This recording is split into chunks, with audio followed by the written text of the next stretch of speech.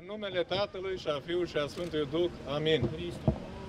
Începem cu o rugăciune și o, și cu o cântare uh, bisericească. Hristos a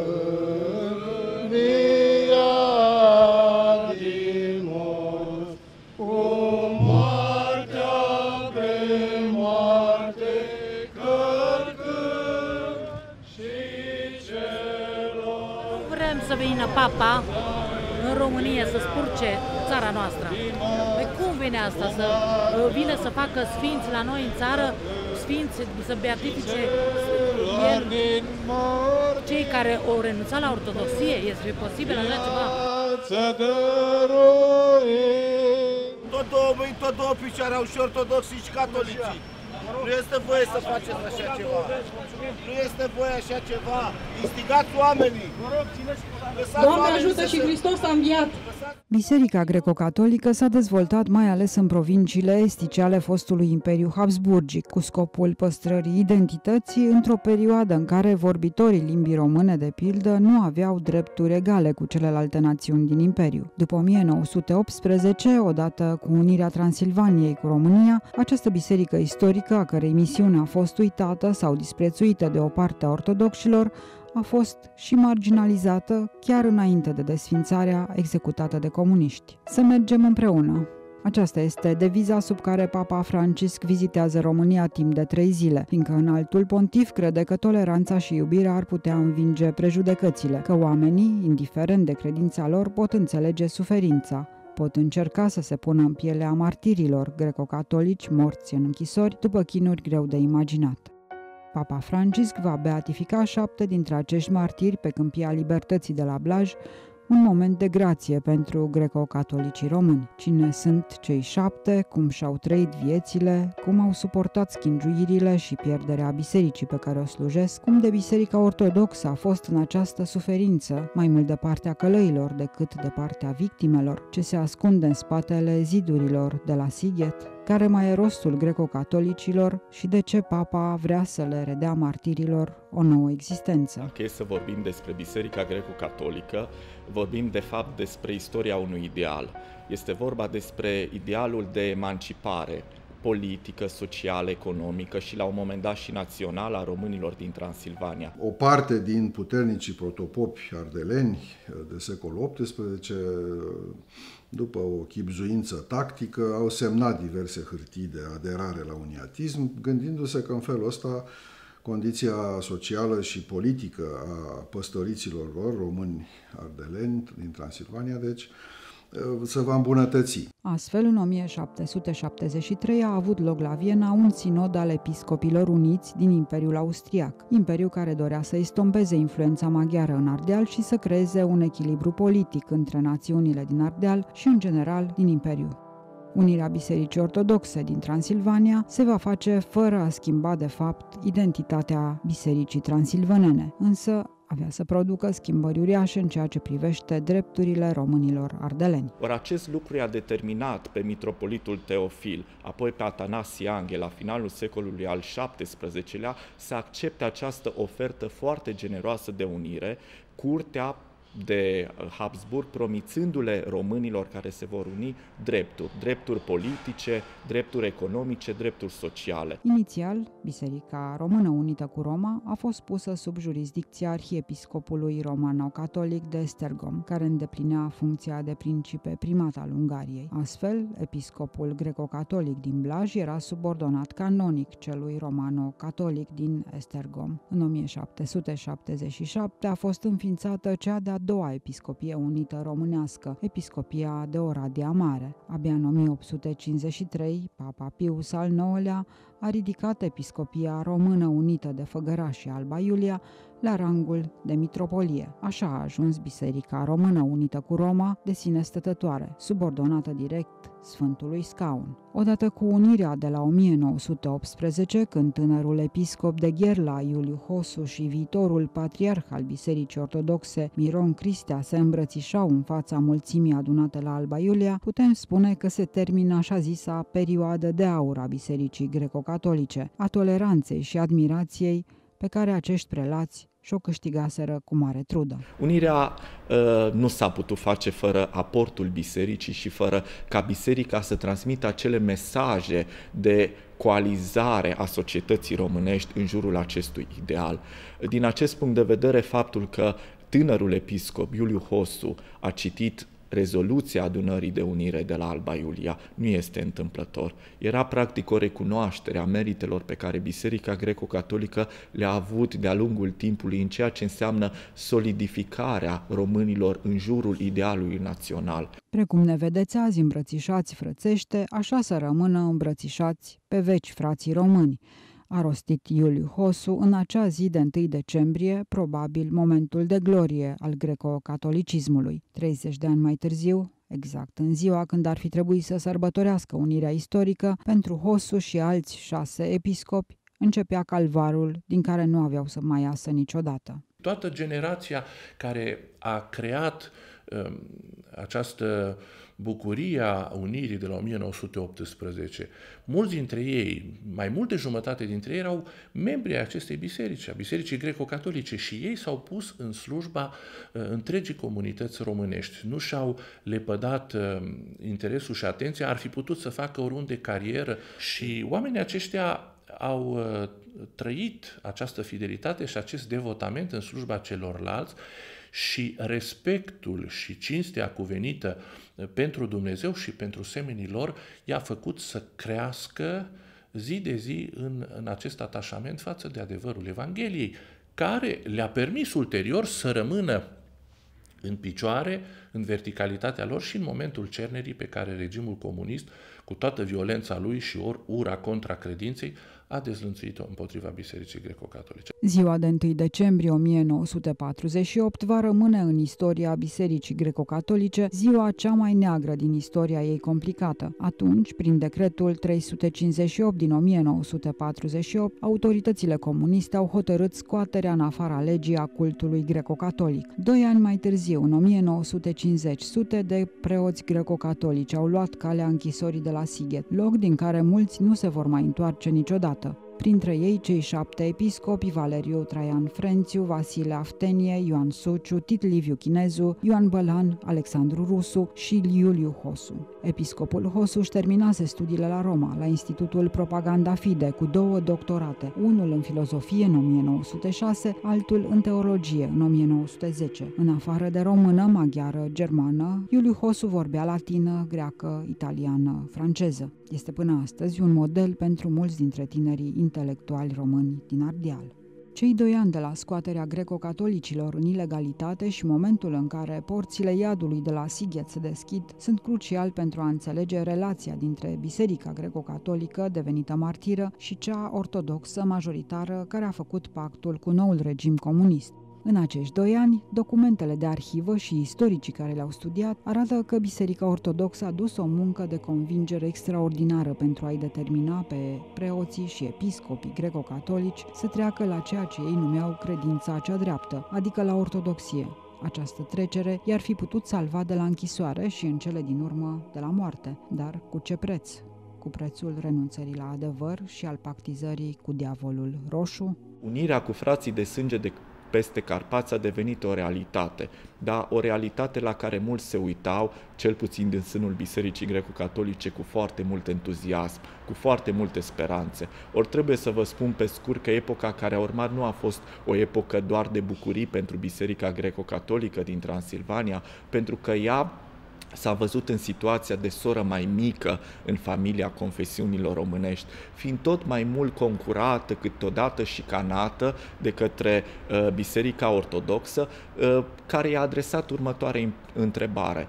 Ce sens mai are existența ei în condițiile în care idealul de unire, de strângere a tuturor românilor în cadrul acelui stat s-a realizat la 1918. Ori din acest punct de vedere, biserica a fost pusă într-o situație de a se apăra, de a încerca să apere pot, propriul ei patrimoniu, propria ei identitate, deși invitațiile la unirea religioasă au fost cât se poate de insistente. De aceea, momentul 1948 îl putem înțelege făcând corelație și cu această atmosferă încorsetantă, tensionată care a existat între cele două biserici românești încă în perioada dintre cele două războaie mondiale. Noi, conducători politici, au văzut în biserica greco-catolică și nu numai în ea uh, un dușman. Un dușman pentru că făcea parte sau era un instrument al imperialismului occidental, s-a spus în epocă iar tot ceea ce era occidental trebuia eliminat. Așa gândeau liderii comuniști de la București, în vreme ce Biserica Ortodoxă, care în loc să fie solidară cu Biserica Soră, sau măcar să refuze orice sprijin pentru greco-catolici,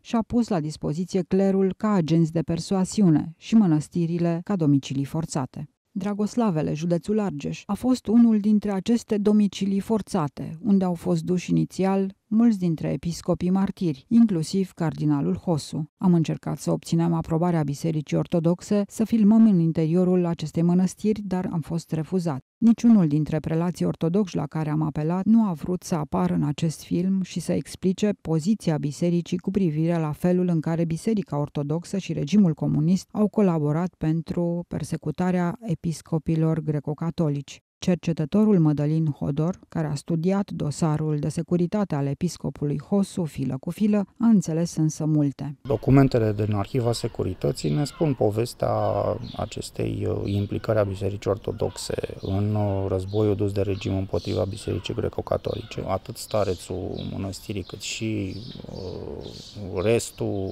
personalului de acolo, patriarhul de la acea vreme, au uh, încercat, uh, adică au participat la urmărirea lui, au furnizat unii dintre călugării de acolo, starețul din nou, note informative despre activitățile pe care le avea uh, episcopul Hosu în uh, acest domiciliu obligatoriu. Au participat alături de securitate la planuri de acțiune îndreptate împotriva lui.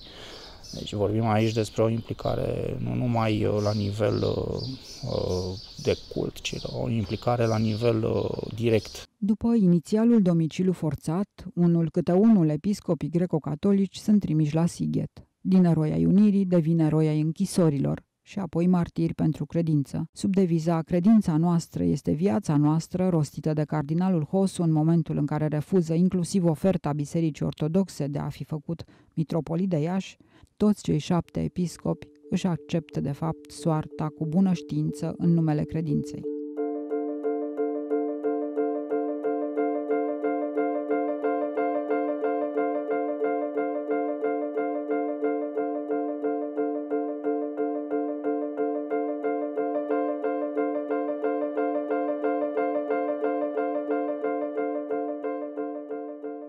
Închisoarea de la Sighet este locul în care a dispărut elita politică, spirituală și culturală a României. Aici ajung rând pe rând șase dintre cei șapte episcopi.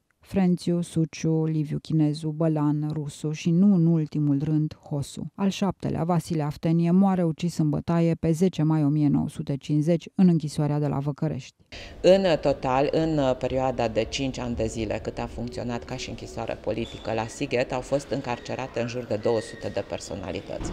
Iar dintre aceste 258 sunt din rândul ierarhilor și clericilor catolici și în rândul acestora a fost un singur singur preot uh, ortodox. Uh, dintre preoții catolici și greco-catolici, majoritatea au fost, uh, deci peste 60% au fost cei greco-catolici. Timp de aproape 5 ani, până în 1955, deținuții de la Sighet îndură un calvar zilnic de înfometare, frig și izolare, în cele mai cumplite condiții greu de imaginat, fără să-și piardă credința și speranța că într-o bună zi toate acestea se vor termina. În ceea ce privește regimul de detenție, supraviețuitorii vorbesc de trei elemente uh, esențiale și trei elemente care au fost foarte greu de suportat. Foamea, frigul și izolarea. În aceste condiții inumane, în care tortura și înfometarea devin parte din ritualul zilnic al închisorii, trei dintre cei șase episcopi închid ochii între pereții de la Sighet. Primul este Valeriu Traian Frențiu, care moare ucis în 1952. Este urmat de Ioan Suciu un an mai târziu și apoi, aproape de eliberare, de Tit Liviu Chinezu.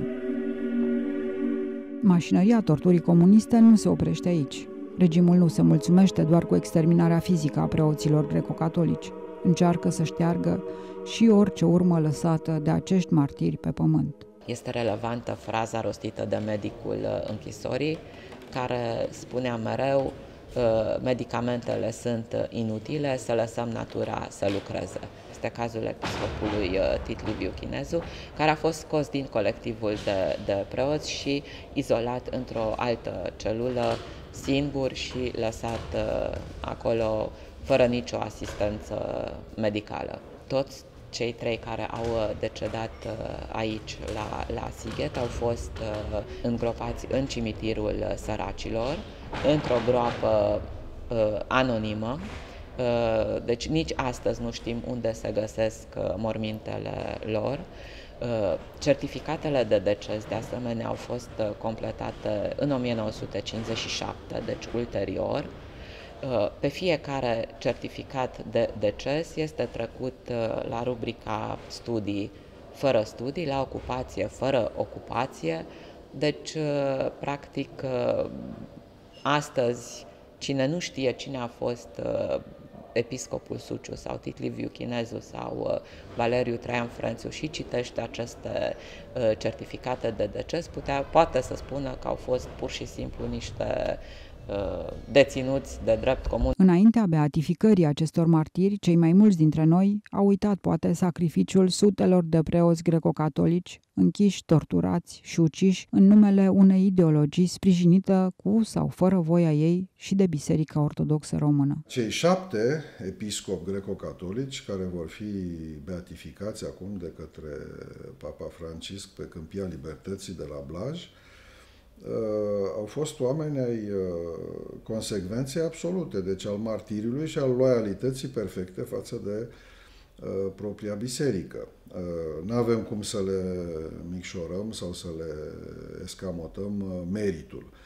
În același timp, uh, cred că nu putem nici să judecăm istoria în alb și negru și să spunem uh, aici găsim o concentrație compactă de bine, și dincolo de această barieră numai uh, demoni și uh, personaje decăzute și uh, compromisuri inacceptabile, trădări. Și, și Biserica Ortodoxă în fața tăvălugului stalinist a produs, ca să zic așa, mii de martiri în pușcările politice ale comunismului. În 1955, la doi ani de la moartea lui Stalin, cu elitele intelectuale, politice și spirituale aproape exterminate, România decide că este timpul să relaxeze condițiile de detenție, astfel că o serie de deținuți politici, inclusiv înalți prelați, sunt eliberați cu domiciliul forțat în mănăstiri ortodoxe, unde aveau să fie intens supravegheați de securitate până la sfârșitul vieții. Resursele pe care aparatul de supraveghere comunist le-a investit în uh, supravegherea episcopilor greco-catolici a fost de-a dreptul impresionant. Există un uh, dosar uh, de problemă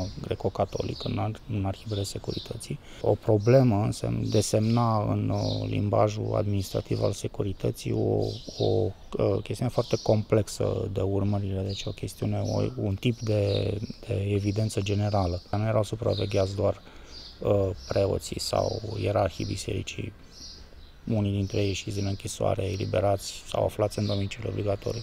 Erau supravegheate rudele acestora, familiile, uh, cunoscuții, legăturile de corespondență pe care le aveau cu străinătate. Numai în cazul episcopului Hosu, cercetător care a și publicat uh, o carte pe tema asta, uh, a numărat efectiv numărul de note informative, informatori, ofițeri angrenați în supravegherea lui Iuliu Hosu, pe, doar pe perioada uh, domiciliului obligatoriu de la Căldorușani. Și, uh, din câte mi-aduc aminte, e vorba de vreo 72 de informatori, peste 50 de ofițeri și uh, peste 300 și ceva de note de, informative despre, despre episcop urmăriți și abordați constant de securitate, fie să colaboreze, fie chiar să sprijine anumite acțiuni publice ale regimului, niciun episcop greco-catolic nu cedează presiunii. De fapt, spre deosebire de Biserica Ortodoxă Română, unde au existat numeroase cazuri de colaborare, Biserica Greco-Catolică în ansamblul ei a fost singura biserică din România comunistă despre care nu se poate spune că a colaborat cu securitatea. A fost uh, mai degrabă o victimă a regimului comunist și a încercat să-i reziste. Asta este avantajul până la urmă care dă uh, și conferă libertate uh, bisericii de a se simți într-adevăr legată de o cultură națională, fiindcă este pusă în slujba poporului lui Dumnezeu, dar în același timp are această comunicare și comuniune cu Biserica Universală, pe care o mărturisește crezul. E universalitatea mesajului evanghelic care ne permite să fim frați în credință cu, cu toți cei care nu trăiesc acest crez în Hristos și care nu sunt legați doar de o realitate națională care poate fi ușor controlabilă de un regim tiranic, care ne expune în, în această uh, postură de credință să fim fideli lui Hristos în primul rând, să fim fideli unei moșteniri de umanitate care scrie într-adevăr existența omului coerent și de caracter, dar care în același timp să știe să spună nu atunci când agresiunea răului îi pune în joc libertatea conștiinței.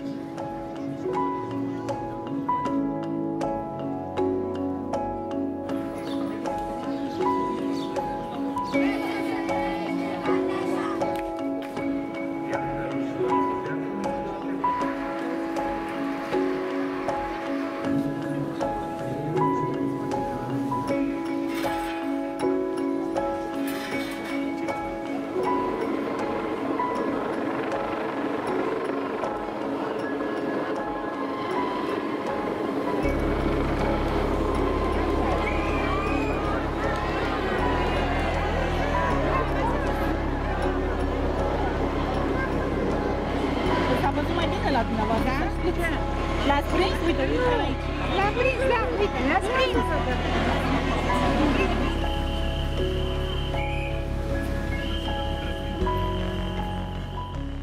Vengo tra voi per camminare insieme. Camminiamo insieme quando impariamo a custodire le radici della famiglia, quando ci prendiamo cura dell'avvenire dei figli e del fratello che ci sta accanto, quando andiamo oltre le paure e i sospetti, quando lasciamo cadere le barriere che ci separano dagli altri.